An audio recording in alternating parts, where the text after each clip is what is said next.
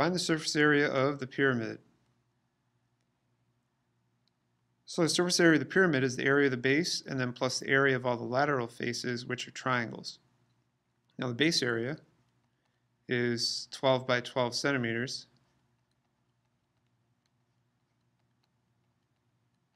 And that's 144 square centimeters or centimeters squared. Now to find the area of each lateral face, we're given the height of the pyramid, but not the lateral height or the slant height.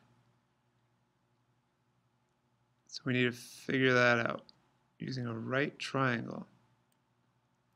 Now we're given the 8, which is one of the legs of the triangle, and we know that the base length is 12 centimeters for the pyramid, so half of that is going to be 6 centimeters. So the hypotenuse here, we're going to put c for now until we solve for it. So let's use the Pythagorean theorem to solve this right triangle. It's going to be 6 squared plus 8 squared equals c squared. And 6 squared is 36. And 8 squared is 64. 36 plus 64 is 100. Take the square root of 100. It's going to be c. And we have 10 equals c. And you may know your Pythagorean triples, you know, 6, 8, 10 to begin with, and hey, that's great. Save you some time. Okay, so our slant height is 10 centimeters now.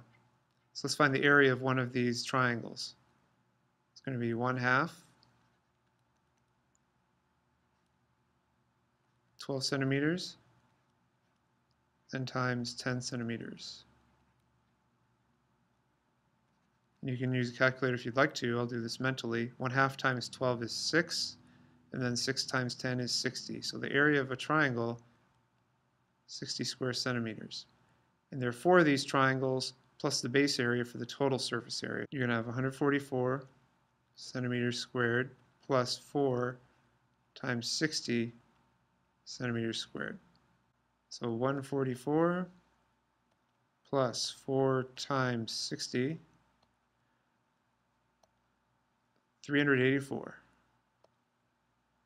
So 384 square centimeters is our total surface area of the pyramid.